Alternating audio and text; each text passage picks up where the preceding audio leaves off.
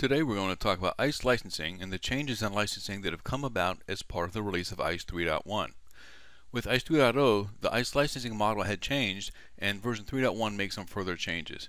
This video will detail the licensing changes when upgrading from a 2.x version of ISE to 3.1. This is the current look of the ISE 2.x license model. First, let's get rid of this text. We'll come back to this later. Next, the names of the licenses have changed. Base is now Essentials, Plus is now Advantage, and Apex is now Premier. The name changes make sense and now align with the Cisco DNA Center style of licensing. The other great thing to come from aligning with this type of licensing is the nested doll model.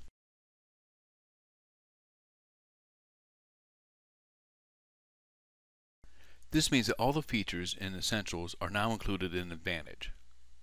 The Premier license includes all the features from both Essentials and Advantage.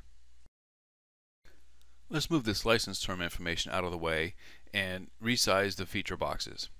Due to some of these changes and alignments, some features have either been renamed or moved. Cisco TrustSec has been moved up a tier and changed names. TrustSec is now in the Advantage tier and is named Group-Based Policy.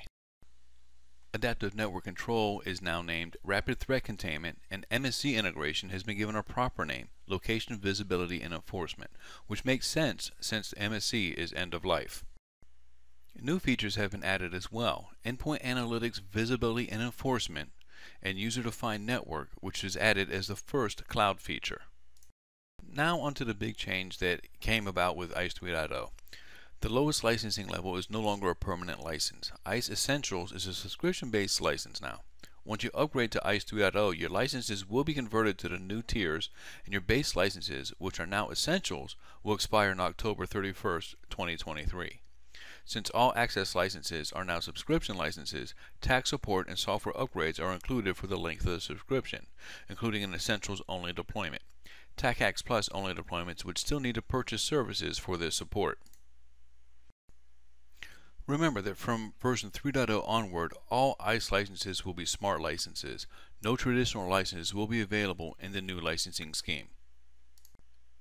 As a house cleaning item, I'll move the AnyConnect information over here.